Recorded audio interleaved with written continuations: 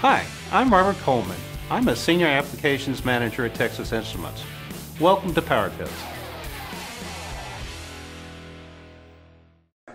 Welcome to Power Tip 57. In this Power Tip, we're going to take a look at a different kind of snubber for a flyback. Uh, traditionally, you'll see RCD snubbers in flybacks, and they have a, the drawback of dissipating power, particularly at, at light loads. With the emphasis on high efficiencies in power supplies, this is no longer acceptable. So a different snubbing technique is required.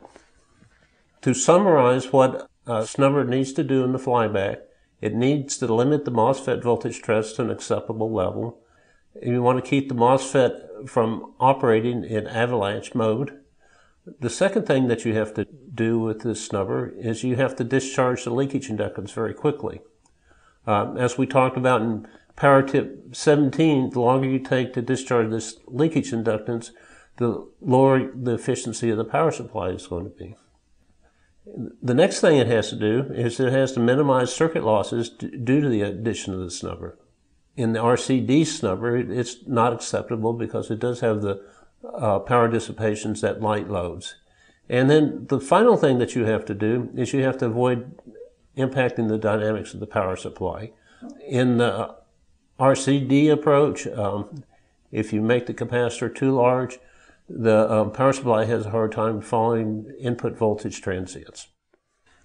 So this is the schematic of a adapter that you, that you might see. Uh, we have a universal input voltage, 85 to 265. Um, it gets rectified and filtered, and then it's applied to the flyback power stage. Uh, traditionally, you'll see an RCD snubber used at the drain of the MOSFET to limit the voltage. In this case, we, we have a little different snubber configuration. We're going to put a resistor in series with the diode, in series with the Zener diode. And so the Zener diode will provide most of the clamping in the circuit, and it will only dissipate power when need be. It's different from the um, RCD clamp in that the RCD clamp, there's always power being dissipated in, in the resistor.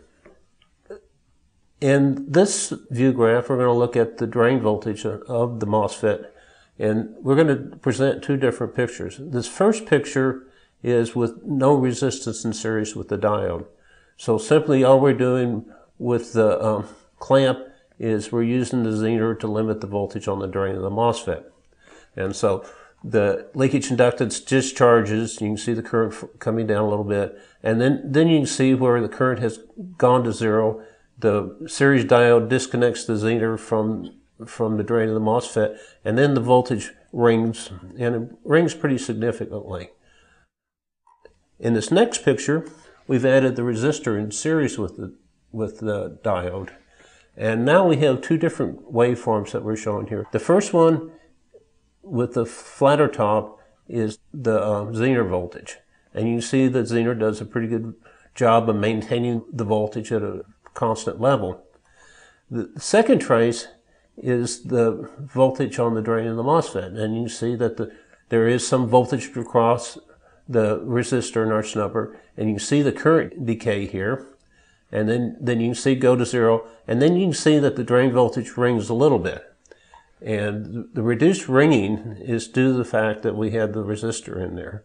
And so this will minimize some of the EMI in the power supply and provide less noisy operation, perhaps.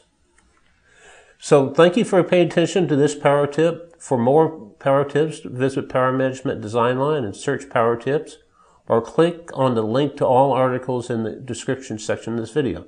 Thank you.